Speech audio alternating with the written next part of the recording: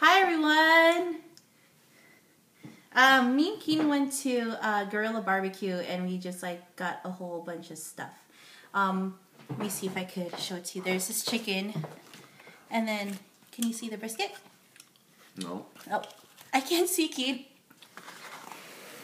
There. There. That's actually brisket and pulled pork.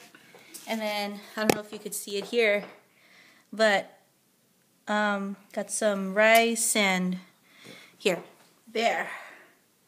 Hella food, right? but the main thing we wanted to try, well, aside from being good barbecue, they have some sauces, um, some background information. Um, um, Gorilla Barbecue is that place in Pacifica along the highway that Guy Fieri went to. Um, uh, I don't know exactly when, but he went. And so now it's getting like tons of buzz. And so we wanted to try this. This is their hot sauce. And they informed us not to pour it, stop it, not to pour it on our food because it'll just ruin it. So we're to test it out to see really how hot it is. Um, I can't say that I'm a very. I, I like hot food, but I don't know. Some I like hot food, even though it. some people could tolerate more than I can. Yeah. So, okay, hold on, hold on, hold on. Okay, we'll just show. Okay, Yeah. hold that up, hold that up. What? What? up? This, this, this. Husbands. Okay, this is the regular.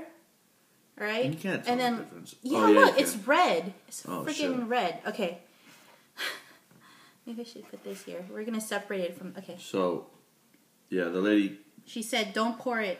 And she marked the can, the, um, the to-go thing hot, and drew skull and crossbones.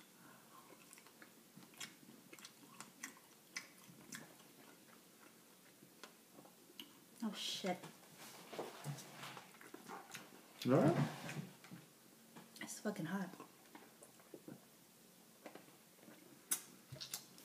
I should have watched what piece of chicken I ate it with, because I got all bones.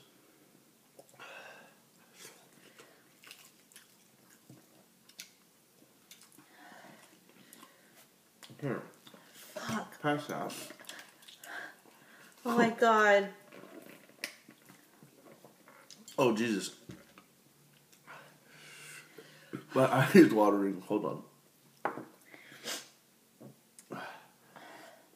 That's hot, peoples. All right. Well, um, No. I know. I almost forgot.